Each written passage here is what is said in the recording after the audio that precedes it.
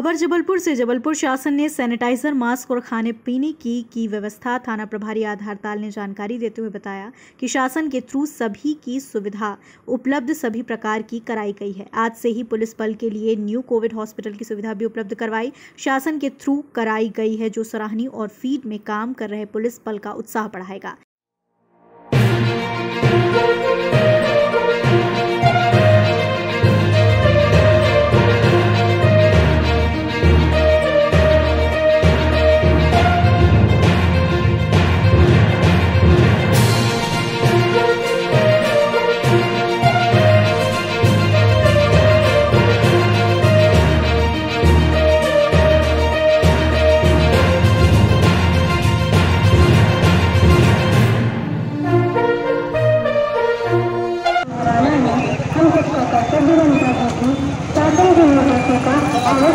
के पालन करें और भारतीय एवं बाजारों में अनावश्यक भीड़ न बढ़ाएँ तथा अनावश्यक यात्रा करने से बचें। हम सबको इस कोरोना महामारी को हराना है। हम सबका कर्तव्य बनता है।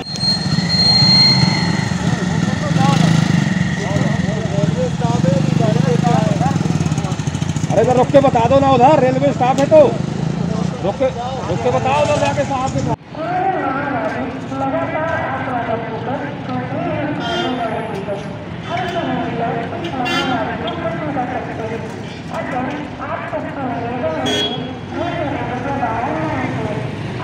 अभी रात्रि के 12 बजे हैं, लेकिन पुलिस अपने लक्ष्य को निभाती हुई नज़र आ रही है तो ड्यूटी मानो भी नहीं हम इस विभाग में जनसेवा करने के लिए आए हैं। ये जनसेवा करने का सबसे बड़ा और सबसे महत्वपूर्ण अवसर है।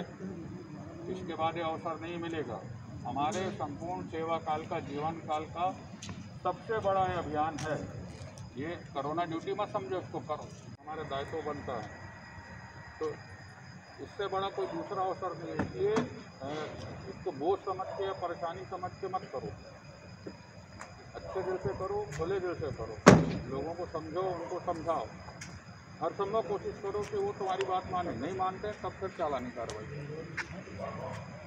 वो मानेंगे आज नहीं कल वो मानेंगे क्योंकि ये परेशानी धीरे धीरे जो है बढ़ते जा रही है। अस्पतालों में बेड फुल हो रहे हैं दवाइयों की कमी हो रही है देखो हाँ इस बार जो है कोविड 19 के संक्रमण को देखते हुए शासन ने पहले से और भी बेहतर व्यवस्थाएँ करी हैं। जगह जगह ये शासन की ओर से टेंट लगे हैं, पीने का पानी उपलब्ध कराया गया है और चाय, नाश्ता, भोजन हमारे डिपार्टमेंट से सभी को मिल रहा है प्रतिदिन। और साथ में सैनिटाइजर भी हमें उपलब्ध कराए गए हैं, हाथ धोने के लिए साबुन भी उपलब्ध कराए गए हैं, साथ में सैनिटाइजर भी उपलब्ध कराए गए हैं। और फेस जो मास्क है, ये हम लोग पहन रहे हैं, ये भी हमारे शासन ने हमें उपलब्ध कराया है।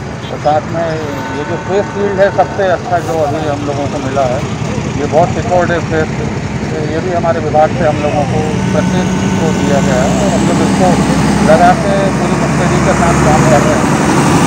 सर, देखा जाता है कि बहुत से लोग, बहुत से लोग रुतबा बताते हैं, बहुत से लोग मानते नहीं हैं इन चीज़ों को और बहुत से तो हम लोगों ने भी कैद किए हैं कि भागते नज़र आते हैं, पकड़ना पड़ता है उनको नंगे हाथों से। तो कहीं ना कहीं ग्लव्स की ज़रूरत है क्या प्रशासन को? हाँ ग्लव्स भी हम लोग उस समय पहनते हैं जब हम लोग वो पकड़ दकड़ करते हैं तो जो हमारी टीम पकड़ने वाली रहती है वो बाकायदा ग्लव्स पहनती है। ग्लव्स पहन के ही काम कर रही है और लोग बाग भी अब मानने लगे हैं समझने लगे हैं।